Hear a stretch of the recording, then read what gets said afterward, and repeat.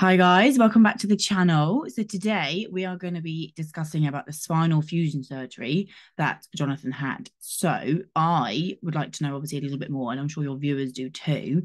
Can you kind of tell us what to expect kind of before you've even got to the hospital? Yeah, so I'm going to do a rundown of everything that happened from the week prior to the surgery and perhaps up to the week after. Um, there aren't any videos online which currently talk about this, at least in, not in the explicit detail that I'm intending to. So stick around, watch the whole video in full. Um, hopefully, this will reach a wider audience. Then, you know, chances are we know someone out there with a bad back that will need the surgery, so this might help them. Definitely, yeah. Yeah. So essentially, so five days prior to the surgery, I was asked to wash daily with some sort of antimicrobial, antibacterial wash gel thing. Um, essentially, that involved washing my hair and body on alternate days. So, my hair and body on day one, day two would just be my body, day three, hair and body again, so so on and so forth. So that would last five days. On each of those days, morning and night, I'd have to apply a cream up my nostrils. Um, that was essentially the same sort of principle. You're trying to reduce the bacterial load that you have. Um, as for anyone that doesn't know, after surgery, when you have a spinal decompression, discectomy, fusion, the lot surgery, um, you're at a higher risk of infection. Um, not just because of the fact that you have a giant gaping wound, or in my case, two wounds in my back, but because you're not washing as much. Mm. Um, so it's essential that you do these things. Um, during that time, also for five days, you'll be asked to wash, change your bed sheets daily. That means your, your pillowcases, bed covers, sheets, duvet, everything. Mm-hmm. Um, so that was a lot of faff, and I imagine you spent quite a bit of money on yes. um, cleaning during that period. Washing, but it is very important. Like it is vital. Like I know it sounds ridiculous that you have to put clean clothes on every day and a clean towel and clean bed sheets, but it's all to reduce infection rates and bacteria and any dirt on you. Because obviously, when you go in for a surgery, you are at higher risk because you're going you're going to surgery. It's not an average run of the day. Let's just pop to town. So it is important. And like Jonathan said, after your surgery, you can't wash as much because you can't get your dressings wet, which means doing like a flannel wash isn't going to clean you as much as an actual shower um, which is why the pre-hospital wash is very important to get your body as clean as it possibly can be so that when you can't clean it as much or as well it's not it's not too bad yeah during this time i did also have some quite severe rashes mm. hive skin issues dry skin um, it seems to me that i am highly intolerant to just about everything to some degree um, even washing even with hot high water, sensitive stuff, high ultra sensitive, yeah, special, natural, hundred percent organic, organic, everything. whatever. That does leave me with rashes. So even hot water does, doesn't it? Hot it water you, will give like, me rashes.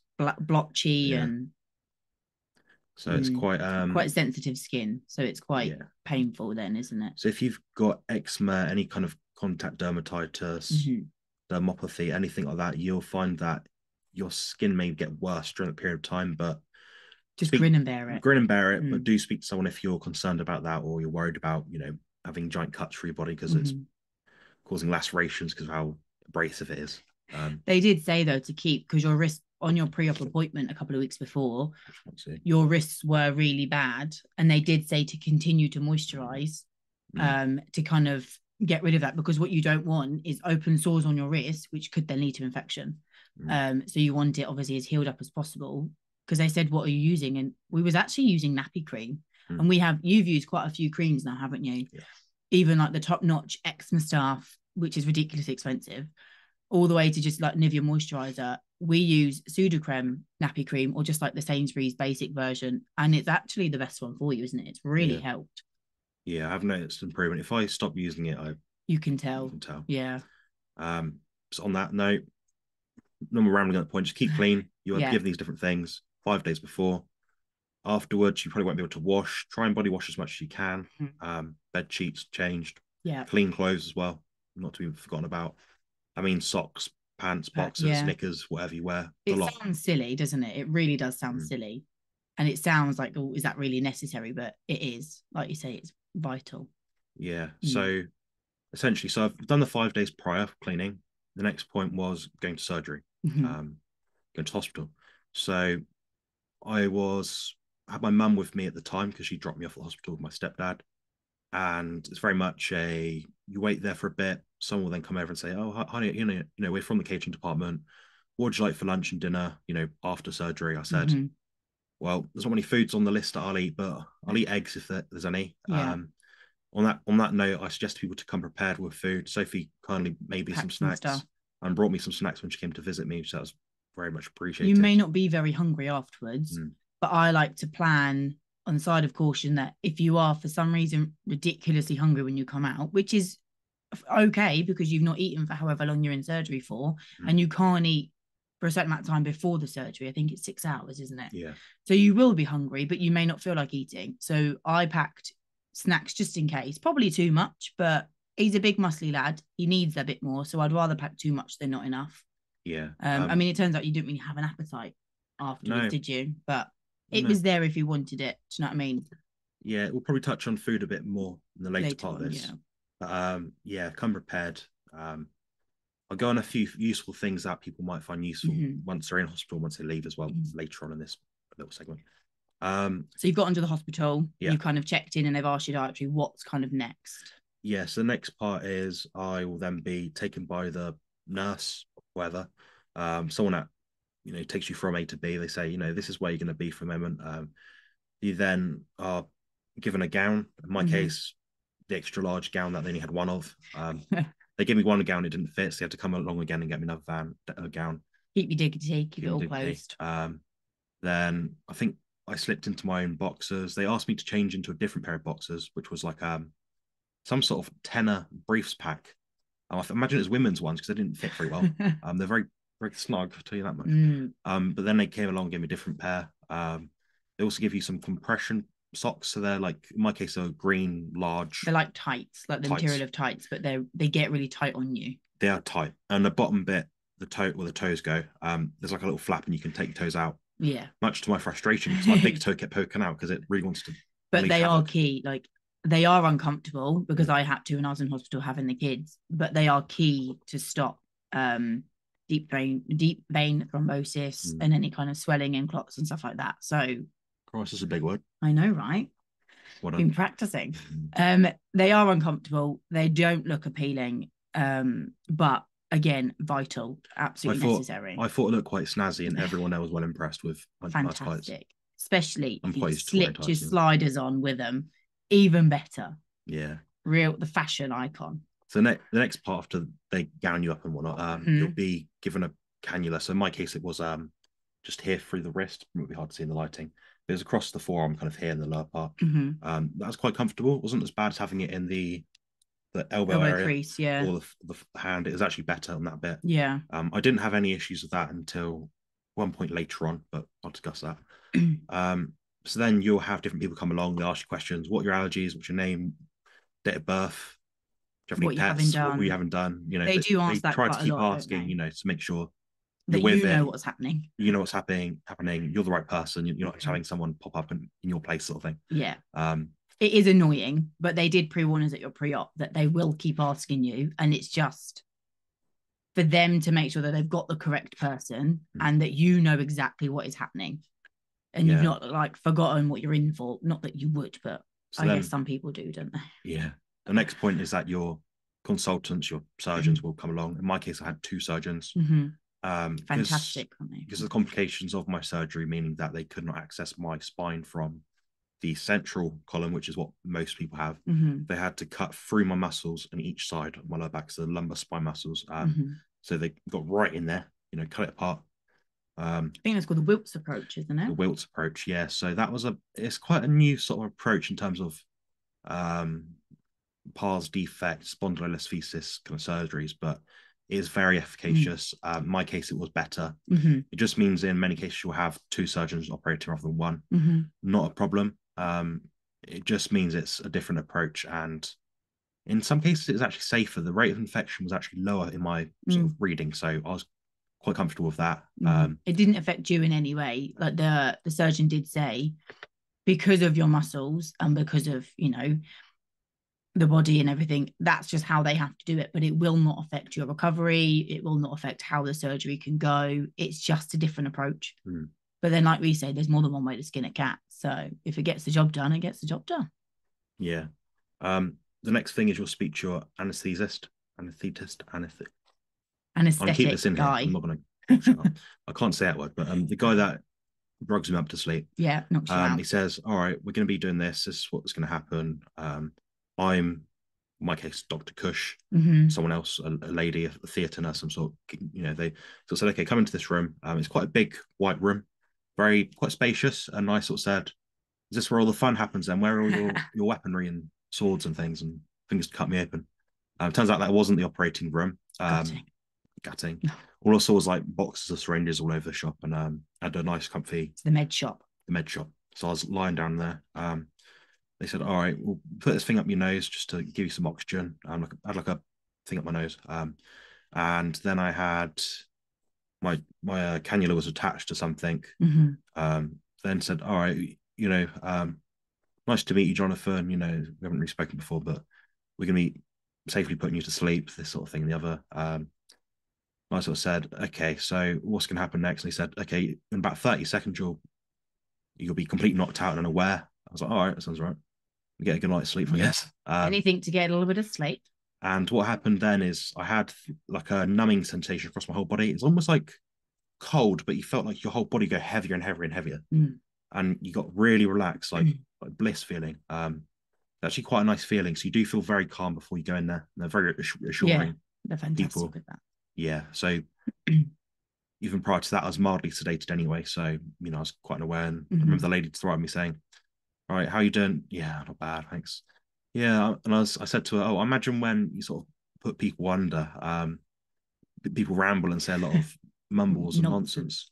Um, by that point, it's about 24 seconds in, and I passed out. I was, like, out I was gone. Um, mid sentence. Just a typical day, really, isn't it? typical day. yeah, then they ha- had surgery. So I had um I actually saw the surgeons as I walked into the theatre. There's about four people there, then obviously two. So I had about six, seven people working on me Mhm. at one time. Um, and they were all drinking black coffees and things trying to because my surgery was early in the mornings, so Yeah. like seven, eight, nine o'clock or something. Um, so they're trying to rev themselves up, which I'm quite glad about. Rather the first and the last. Oh day. yeah, So there's that. get it And, done.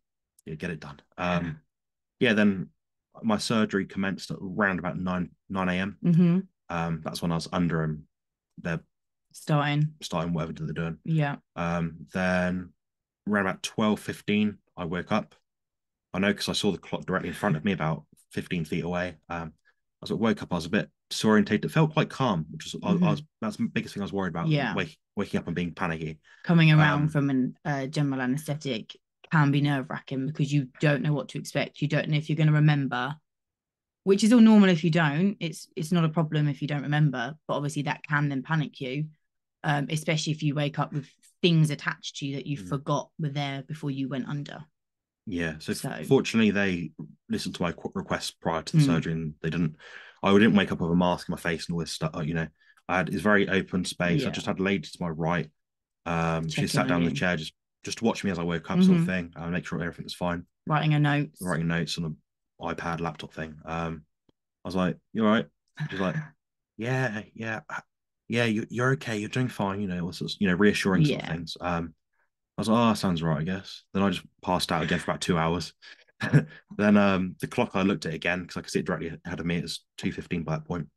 Um, then I could tell it's being wheeled away somewhere. Mhm. Um, at that point, I wasn't physically aware of what was going on.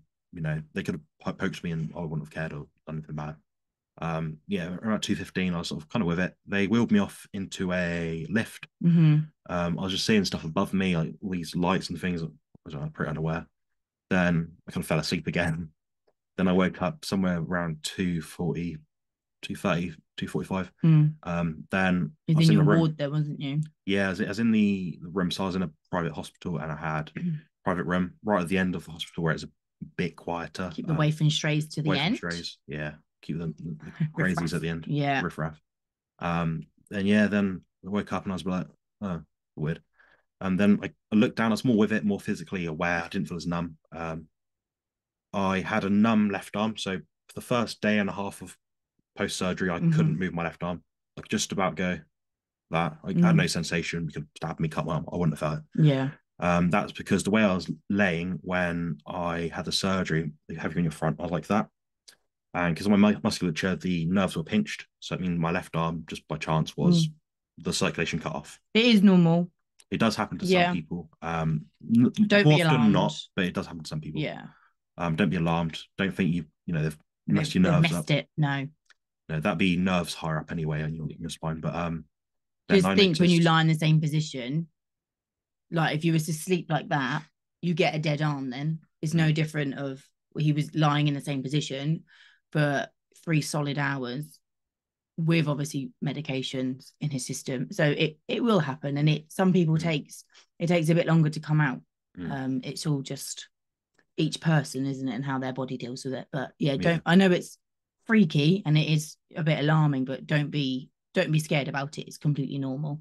Yeah. Um, any experiences you do have in the hospital do that you're not sure about, Mhm. do make people aware of that in the Yeah. instance. Um, you'll usually have like a button to your side which will say, you know, call for assistance, Yeah. turn the light behind you on. Um, They then get like a notification of oh room bell. 18 is Yeah. lit up. They obviously want assistance. they came very quickly every Mm. time. Um, I'm someone that was very independent, so I didn't ring it. I rang it probably three to four times in total in Yeah. uh, two nights that I stayed there. Uh, they're very attentive. I was very fortunate. Um, so what happened next? So Mm. I was looking down and I had these compression armband looking things on my Mhm. my ankles. Um, they were frustrating to sleep with that night. Very frustrating because yeah. all nights again, You hear it, you feel it. just all night. All You can't move your legs. If you lie on your side, so I could only run my, lie on my right side because my Mm. left arm was dead, so I couldn't Could- yeah. Um, I could, I could not and cannot still lie my back quite right because my, I've got, I've got train tracks through my spine.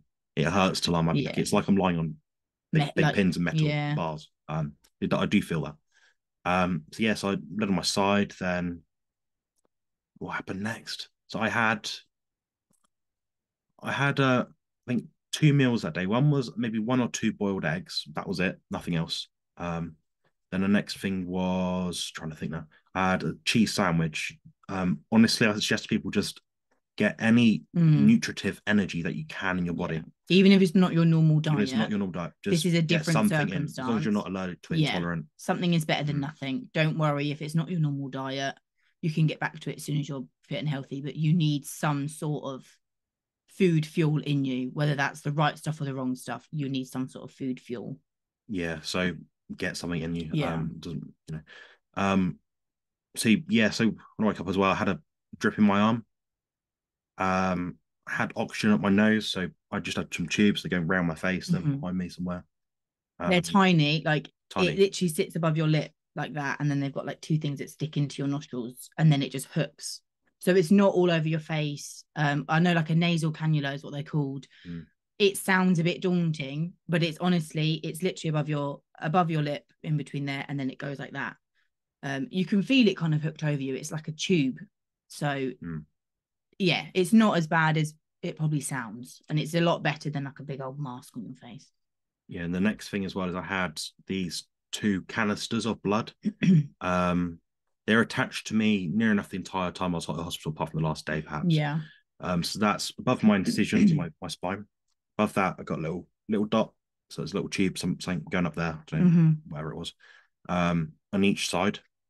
Then outside of that, maybe a one meter long, maybe one and a half, yeah, one, one meter long tube, which went into these big canisters of blood, essentially, which was my hmm my drainage Yeah. effectively. Um, the point of that is to minimize infection by having less leakage going out into your body, so Yeah. it catches it. Then what they will do is every few hours or whatever time period they have is they'll measure how much symptom you've got. So hold it up and say, okay, you got Jonathan, you've got 100 mil here and 80 mil here or whatever Mhm. it is. They basically leave those in until the amount doesn't go up anymore. Mhm. So when it sort of staggers, you think, okay, your your blood system's uh sorted itself out now. Yeah. You're more stable.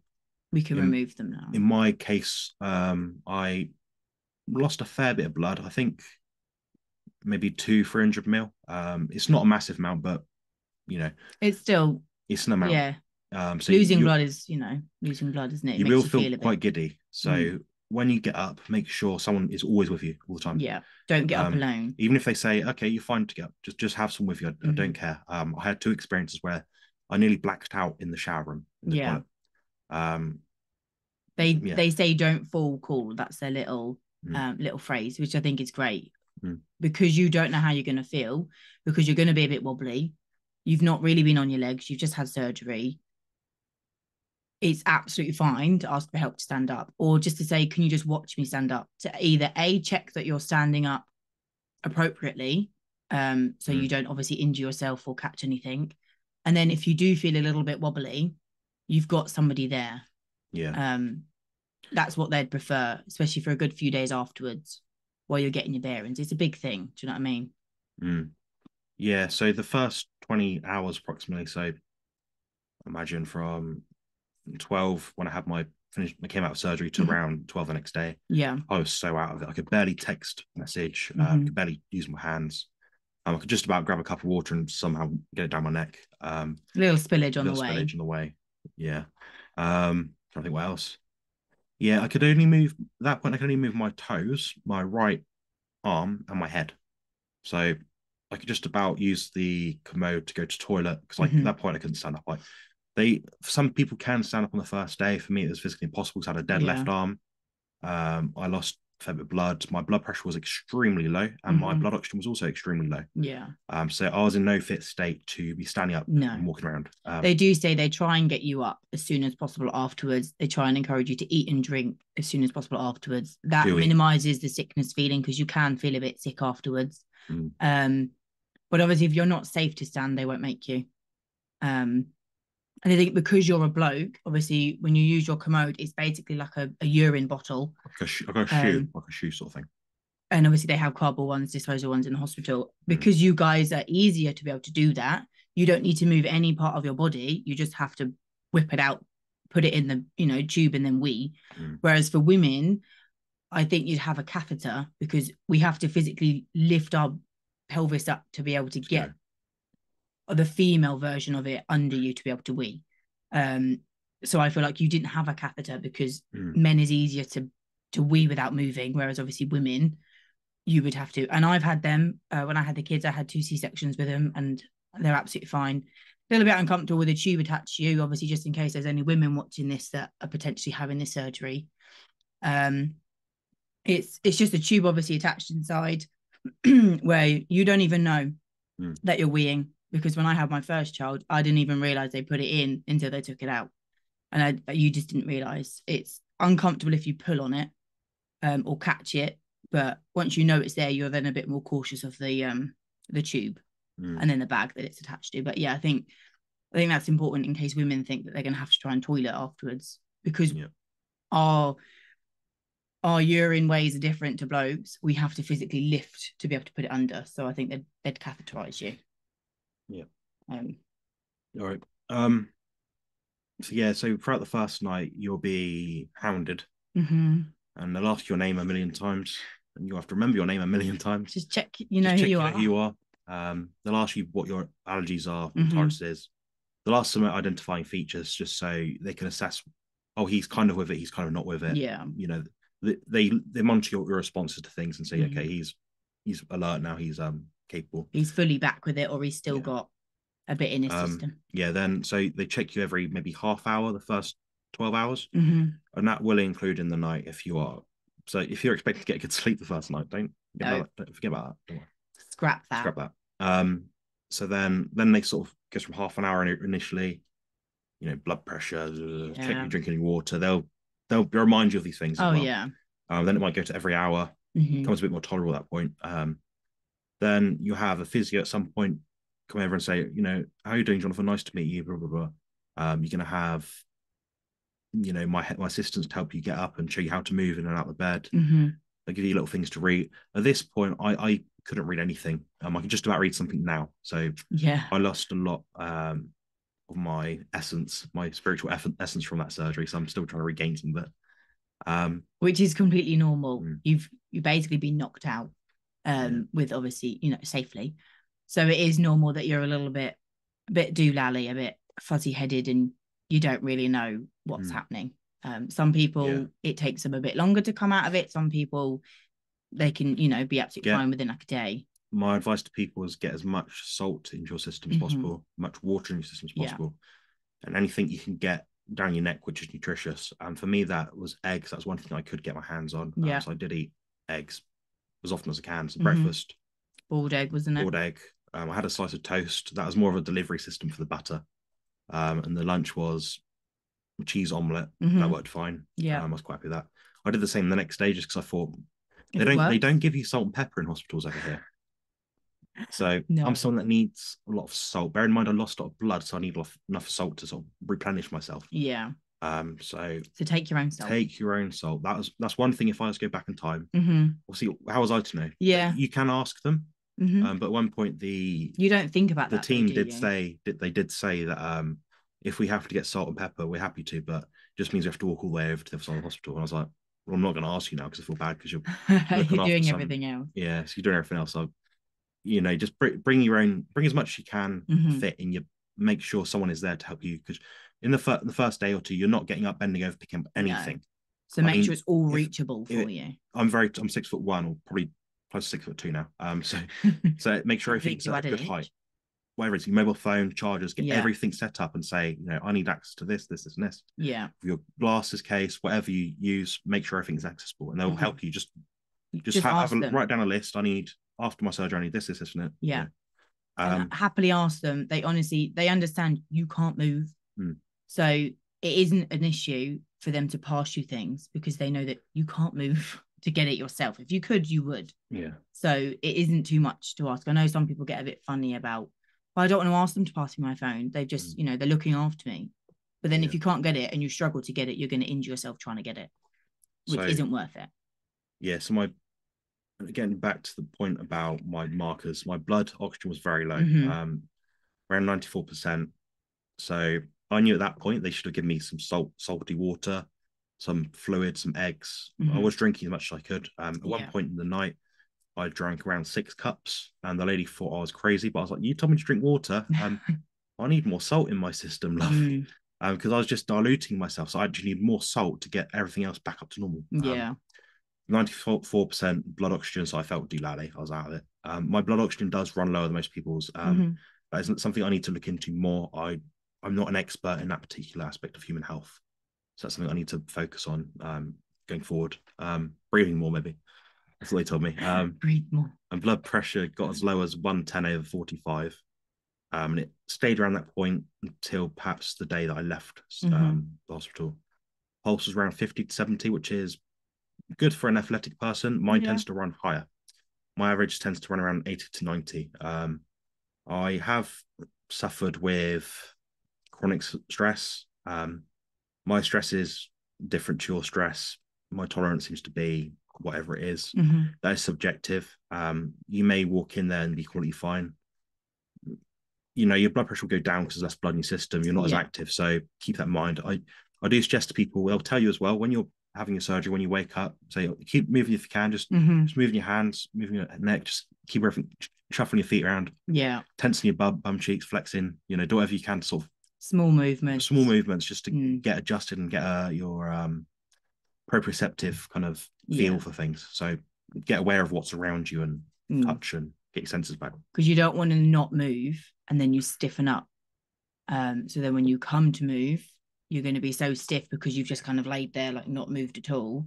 You still Yeah. need to kind of get your body as loose as you can be in the parameters of of your uh, you know ability from the Mm. start. But like I say, just you know, wiggle your fingers, wiggle your toes, Mm. twist your ankle round if you can. Yeah. Get that blood flow Yeah, moving so- around. Yeah, so the first day you'll feel very strange. Mm. Uh, you won't have much awareness. That is quite normal. Um, bear in mind you the sedative effect. I mean, they had to put enough to knock out a horse for me. you know, so I, I was out of it for probably a good day and a half, two days. Most Yeah. people are fine within 24 hours. Um, it took me a lot longer. Yeah. My detox pathways aren't that great, so that's probably why. Um, I was wasn't eating enough either. So No. I tried, but there's only so much you can get down when you got one arm. Um, can't reach anything.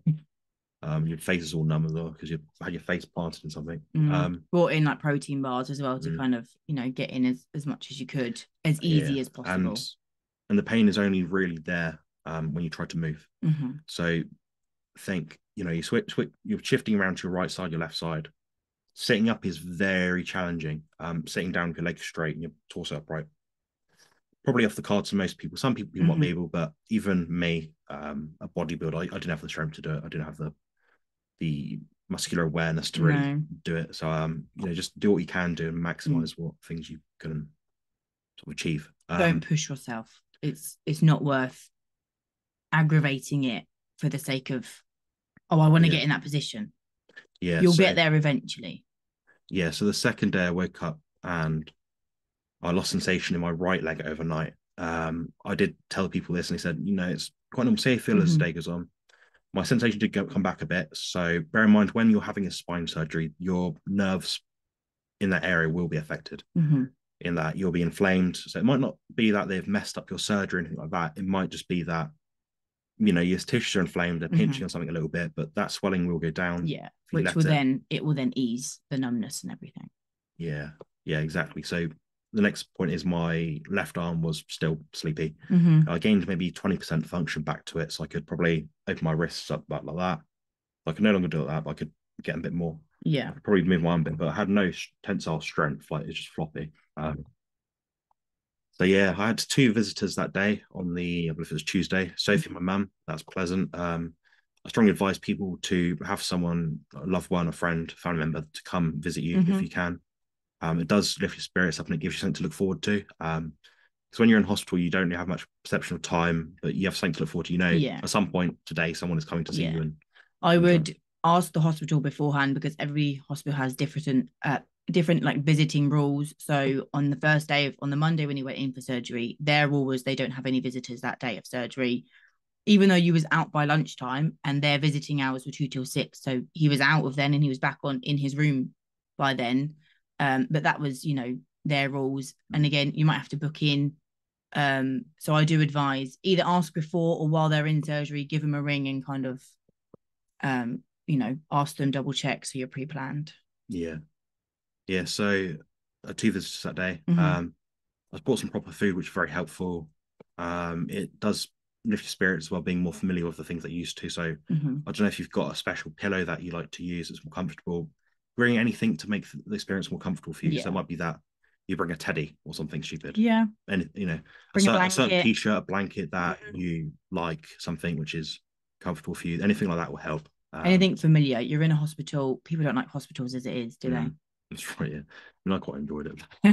Well, I'm a bit uh, sadistic, but Waiting on hand and mm, Mm. yeah. Then managed four meals on the second day, so I could eat a bit more. Um, Mhm. it wasn't much food, but it was a bit more. And as the time went on, I managed to get more food in. I did feel better. Better than nothing. Still, one functioning arm, one not ideal. The left one still wasn't work too well. Um, I tried watching TV. I had a TV directly in front of me, just above eye level, and that Mhm. was impossible to watch. I think I watched 20 minutes of a Argentina football match and gave up. What was it? Bit of countdown. Bit countdown. I think it's up. more like background noise, isn't it? So it's not dead background noise. silent in your room. You, yeah, you have no perception of real perception of time. You know, Mm. oh, in about two hours, someone's going to come around or whatever. Yeah. You don't really know what's going on. You're not.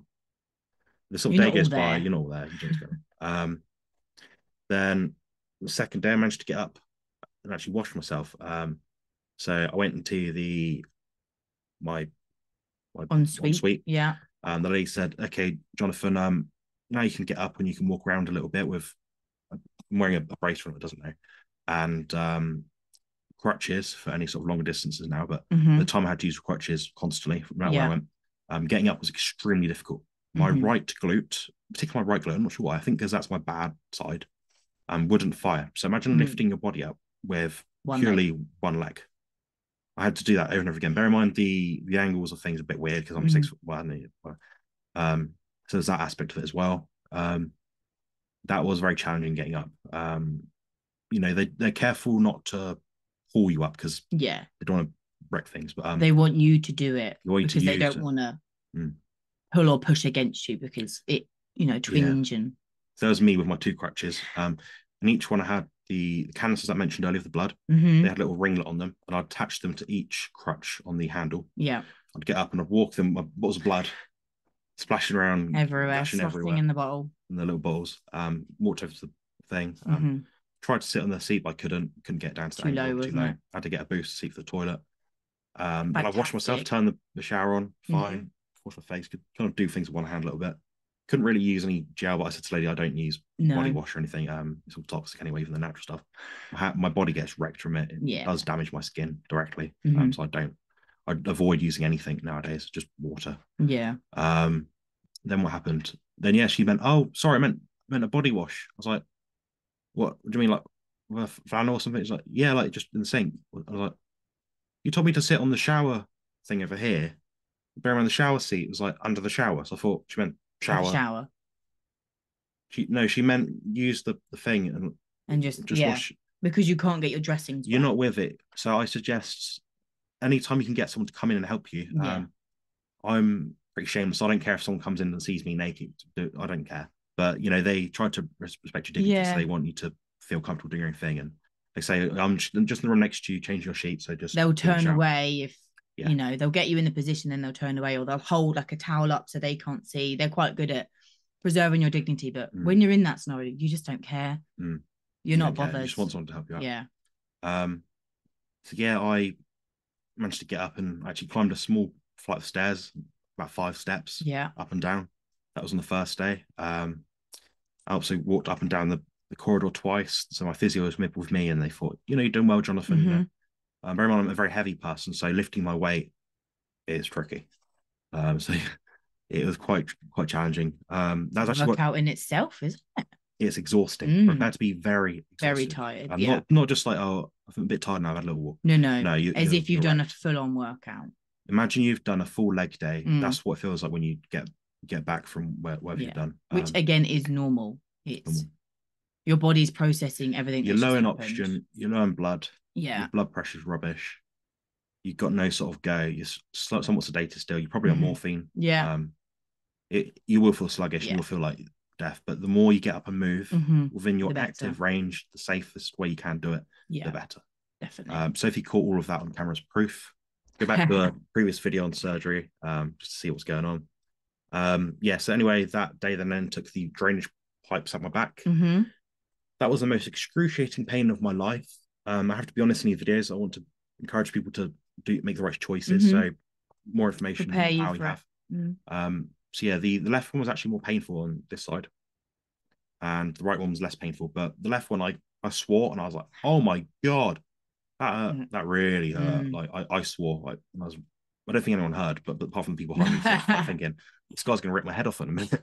Um, but yeah, then they did the right one. Then the right one, I just end up laughing because the pain was so high. I've never experienced that before in my Mm. life. That I think I just found it funny because I wasn't sure how to react. Because when you experience such a intense pain, And a you, new you go into shock. Yeah. not, it's new to you, so you don't think, "Oh, scream and shout."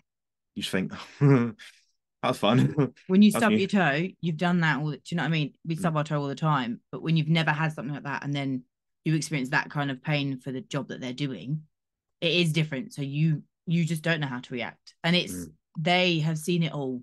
They don't care if you shout, scream, you know, grit your teeth. They've seen it all. Just Mm. don't hit them. No violence towards them. yeah. So after that, that night, they then removed the compression ankle bands. Mhm. Um, annoyingly, they actually left them at the edge of my bed, still pumping away at night. I was like, oh my god. Mum came over later in the day after Sophie visited, and Mhm. um, she Moved said.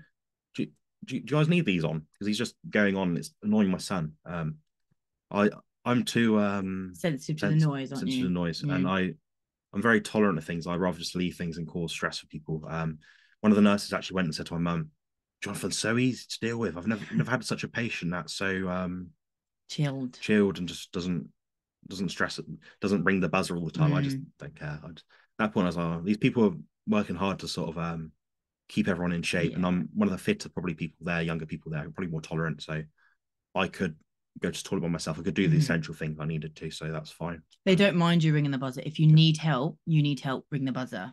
Um, but don't take the mick. They do they do work extremely hard, bless them. Hmm. Yeah, so when I had those tubes removed from my back, the blood bottles, Drainage, yeah. drainage things, I did feel a lot more human. Um, for anyone that's seen The Matrix, when he's in this like casket thing and he's just having this tube pulled out of him and stuff, and he's in this bottle of water, gel stuff, and he comes out and he's all, that's how I felt. I felt like I was reborn. I had that freedom. A new man. felt like Neo in The Matrix. Yeah. Um, yes, the next day I had a decent sized breakfast. At that point, the catering staff realised, okay, we're dealing with a six foot one um, top amateur bodybuilder here, so we're gonna Mm. have to give him some decent proteins bit and more whatnot, food. bit more food. Um, so I wolfed down that food. They were quite shocked, Mm.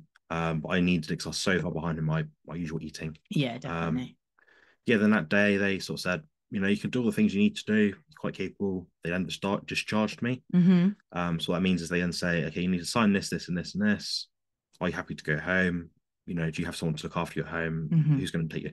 All these sort of thing to make sure you can go from A to B safely. Yeah. Um, my family weren't sure on it on, on it yet that that point because they're worried about them shoving me off early, sort of thing. Because when you're in Mm. You know what it's like at the moment um, with hospitals being very busy. So yeah. they didn't want me in there for a moment longer than I had to be, understandably. But um, they reassured me and they said, you know, Mhm. you can do this, this, this yourself. Yeah. The, the head nurse, the physio, the Consultant, surgeon, yeah. surgeon, so everyone said, you know, you're good to go. You're happy, clinically fit, you're clinically fit. physically fit. So if anything did happen to me on my way out of the hospital, that would have been their responsibility. Yeah. Um, I did tolerate getting home fine. hmm Um, so then at that point I was had the my um stepdad drove drove us back. Um, I had the seat at a, a, a low incline, so I was Almost down. lying down, basically. I suggest having seat as back as far as you can. I'm very Mhm. tall, so I need the more space. But when you're sat down in the chair, sorry, um, imagine that's my feet. Make always make it like you're standing up whilst you're lying down in the in the, Yeah. the car. Then the pressures you got like a buffer, rather than just feeling every bump. hmm You've then got that so you can use your legs a bit to sort of cushion each bump. Yeah. So they've got this giant bump like that big outside the hospital on the way out. And then you feel all the potholes on the rubbish hole, roads. every I mean, obviously, we don't know where where you are in the world, but the UK, the roads are absolute crap. The they are the worst. In the and it's not until you have an injury Yeah. that you then feel every single tiny little pothole and the unevenness of the road, no matter how slow you're going. I think I was going like 10 miles an hour the other Mm. day, and you were like, "Oh," and I was like, I can't go any slower. I literally can't go any slower. Yeah, yeah. I was, I was given um braces, sorry, a waist brace, like a Mhm. corset thing, which I wear. I have to wear whenever I am Moving. mobile. Yeah. The only time I'm not wearing it is when I'm lying down at night. hmm Um, they Get a said to me, yeah, you have. Said to me, you have to wear that like for six Mm. weeks. Yeah. Um, because of my weight, my height, the instability is more likely to be a problem. Because I'm more mobile than most people, um, Mm. I am going to need to have a brace 'cause to to provide a bit of like a proprioception. So I've got a feeling of how much I can move. And it keeps me still as well in the midsection, which is perfect. Keeps you in the right position, doesn't it? So Mm. you're not kind of at an awkward angle. Like your back, your lower back isn't at like a, a twist or anything. Yeah. So I then had a um, a booster seat for the toilet. They think I did. They they thought I didn't need it. I was like, I'm six foot one. Yeah. The hospital toilets, which are meant to be accessible, were right on the floor. Like Mm, very I, low. I couldn't get to that. I had no chance, even with the rails. I, I getting myself up. Bear in mind, I couldn't feel my, my bum muscles. Yeah. I had no chance getting up. So I had to get um on the way back. We stopped by a British Heart Foundation or something, or British Army Yeah. Charity, charity shop, shop isn't sort of thing. Um, they had a whole s- stock room full of disability accessibility equipment, which is perfect for me. Yeah, Uh, so I got a toilet booster seat, Mm-hmm. um, a Frame. a frame, Mm. a seat. Um, did I say commode? You said commode, yeah. Like a riser thing as well. yeah. Um, and a urine bottle, yeah. obviously, for blokes. Yeah, perfect. Mm. So that's fine. Definitely Um, recommend getting that stuff. Even the toilet seat without the booster, I'm five foot four and I would have struggled to get down. Mm. And obviously, there's a massive height difference between us, and I would have still struggled. That's how low it was. yeah, so that night I got back fine. Mhm. Um, the journey was around 40 to 45 minutes. And we did stop around 20 minutes in. I think, especially the first week, do take brief intermittent stops throughout Mhm. your journeys if you're not going to do any. Um, make do as much movement as you can. It sounds a bit like, yeah, but don't do a lot. I'm Yeah. saying just do a bit of movement. I'm saying get up every 45 minutes to an hour Yeah. throughout the day, walk across the hallway, Lap the house. lap the house. Yeah. just do, just do something. Um, my first day, I actually walked up the road. Was only about 50 meters and walk back. hmm Just do anything. The, the more you move, the more that your body will Yeah. realize, okay, I need to use these muscles. Yeah. I need to keep my lower back and core strong. Um, it will stimulate your blood flow, which will then in turn stimulate your recovery and Yeah. it'll improve everything. So you'll recover quickly. and you Um, won't stiffen up. people are going to watch this and think, no, don't do that. You've had no, honestly, the, the recommendations from all the experts Yeah. is to get up as much as possible, In your as long as you can, within your capabilities Yeah. safely. Um, if you have to have handrails throughout the house, if you have to just navigate the house by, you know, using the kitchen surf Yeah. surfaces, the Oh, the little ladies holding on to everything as they go around the house. really fine, it. just just move. Or walk Um, around with the crutches. If you don't have anything to be able to grab onto periodically, then walk around with the crutches. Mm. You've got then stability. It's then reassuring for yourself that you're not gonna wobble and topple. Because obviously that's the last thing you want to do. Yeah. So that night I was home fine. Mhm. I was in a lot of pain, but the pain was different. So I'm used to being sat upright, and as time goes on, punch further and further forward. Mhm. My lower back tightens, tightens, tightens. That's the, the thing that really ruined my life. Um, it caused me a lot of mental health problems, distress, physical distress, Mhm. pain, suffering, tearful journeys around, you know, in the car, Yeah. um, going to bed at night crying, feeling desperation, feeling sore, wishing that a better day would come. Um, Mm. My mental health has been in previous years horrendous. Yeah. Uh, I can't think. I don't think I can express that clear enough. Um, I was in a terrible state. I did have. This is like an add-on bit to this video. I know it's a very long video, but it's all relevant. It all Yeah. does fit together. And the more information I can put out in this video, someone will be able to watch this and think, "This is what I'm going to go through from surgery from point A to point B." Yeah. Um, so yeah, and what I did for three months prior to surgery, roughly three to four months, was I undertaken a counselling CBT thing Yeah. um, cognitive behavioral therapy. So I spoke to a therapist, and that was free of charge from people in my country, which was like a, a scheme to improve mental health amongst young adults, essentially. hmm Um, that was excellent. Yeah. I learned a lot of different methods, and I knew after I had the surgery that my mental health would maybe not diminish, but I would have issues. I would be think, "Oh, I'm not be able to get that rush from the gym anymore. hmm Um, I love to lift heavy weights. I love to lift well. I love to be strong. You know, uh, it's not like a vanity thing. Like um, I must look the best. I must look the best. Yeah. It's more like I want to see how hard I can work and Mm. how much I can outdo myself from the time before. Because you know, is You push yourself. you push yourself and you've got to have that goal. Um, Yeah. Coming from someone that hasn't been able to reach their possible capacity in terms of income because of my disabilities. yeah. I will say they are disabilities. I am or have been un- unable to do a lot of things I want to do. hmm Um, it has definitely helped me in terms of mental health and training. So that's where I stand on that point. Um, getting back to the point about surgery, at least, um, ramble, ramble. Um, yeah, so I'd say by that point, round maybe the day after I got home, so that'd be day four, day five, roughly. hmm I felt 50% better than the day of my surgery in terms of energy, ability, mobility, hmm what I could do. Um, I've got a few videos back in time, so if you look at those, you can see what I've been able to do up to this point. Right now, I'm, I'm standing roughly, I'd say, what, 10, 11 days after surgery, maybe 12 days. Yeah.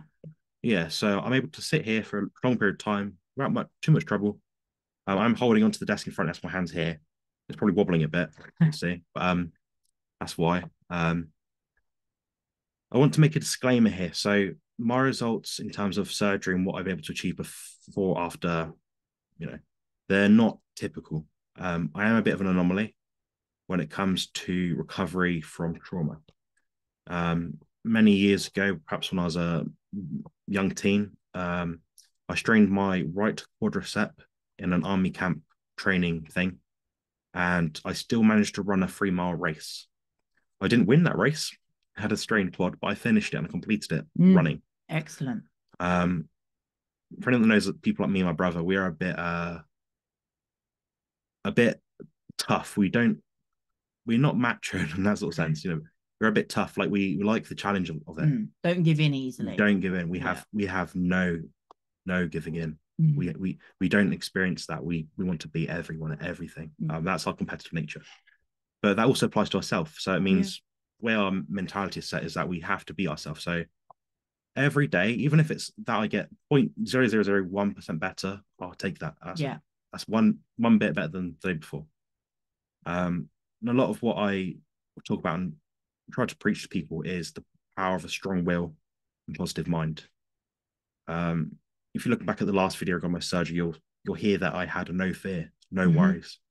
When you've been in pain for such a long time, and I've known about my diagnosis now for this point, one year, two weeks roughly. hmm I knew I was going to need surgery. I had every mental capacity in place and every understanding that I would need it. Mhm. Um, I was mentally prepared going to it. I did the CBT prior to it. Yeah.